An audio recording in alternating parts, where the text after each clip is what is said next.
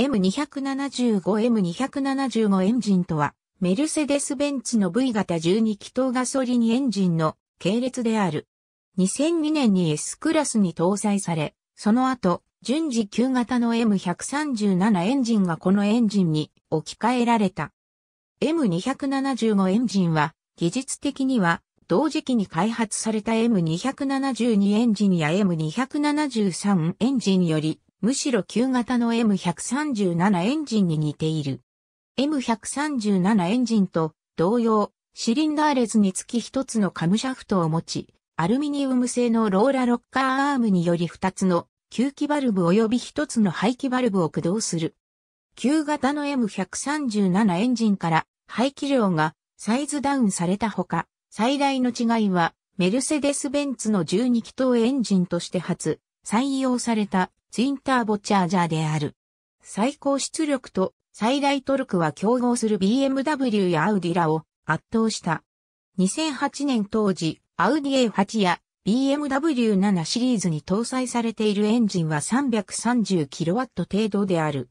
しかし2009年、BMW は同等の性能のツインターボチャージャー付き V 型12気筒エンジンを発表し、7シリーズに搭載した。M275 エンジンは S クラスと SL クラス及び CL クラスに搭載されている。M275 エンジンは 5513cc の排気量 500PS から 517PS の最高出力 81.6kg M から 84.6kg M の最大トルクを持つ。最大トルクが高いため 7G トラーノックは採用されず、5速 AT が組み合わされる。日本での搭載車種 AMG はよりパワフルなバージョンを開発した。M275AMG エンジンは6リットルの排気量から 612PS の最大出力を発生し、最大トルクは 112.2kgm に達するポテンシャルを持つが、ギアの損傷を防ぐため 102.0kgm に電子的に制限される。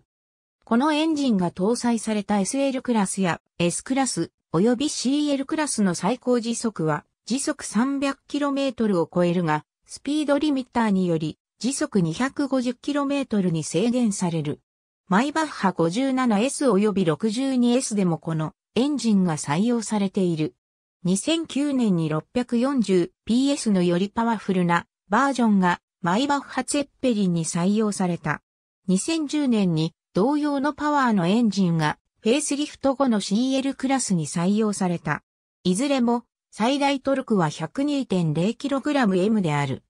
日本での搭載車種マイバッハ57及び62には M285 と呼ばれるバージョンが搭載された。ターボチャージャーや電子制御及びエンジンのデザインが変更され M275 と同様の排気量から550 PS の最高出力と 91.8kg、M の最大トルクを発生する。ドイツのシュトゥットガルトで製造されている。日本での搭載車種ブラバスは EV12 及びブラバスロケットに搭載するエンジンのベースとして M275 エンジンを採用した。排気量は6.3リットルに増加され、730PS